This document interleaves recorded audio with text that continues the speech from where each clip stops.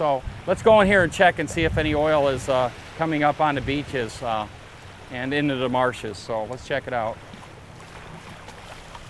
Well, I really was inspired uh, about the environment and, and, the ocean in particular through Jacques Cousteau. He was just somebody that had a passion for water and, and the oceans. And I really felt strongly that art could play a really important role in the effort to protect the ocean and the water planet. And I've been on that mission my whole life.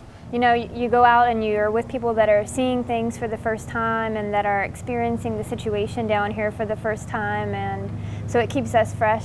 Um, and uh, it's also inspirational, you know, to to have these folks come down and know that they're going to be able to share it um, in different ways uh, that complement what we're doing.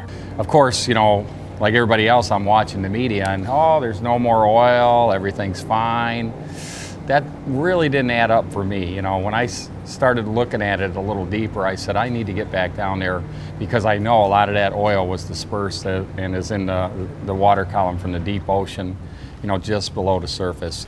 It's really been uh, out of sight up until now, until we came up upon this beach, and uh, now we're finding tar balls, finding thick oil just below the mud of the uh, salt flats. There's plenty of oil here in the Gulf region. Let me get a shot with you. You're awesome. That's what they got in there. Here, let me see. So you went in there and kind of. Take that with your glove. Okay, no problem. I got a glove. I got a glove right here. Okay. Right there. Okay. You ready? There we are. But to me, uh, as the disaster diminishes in the media, um, people are starting to forget about it already. And same old, same old. Let's go back and get some more oil. No, that needs to stop. What we need to do is put all our resources, all our energy, all our technology into new energy, clean energy uh, for the future.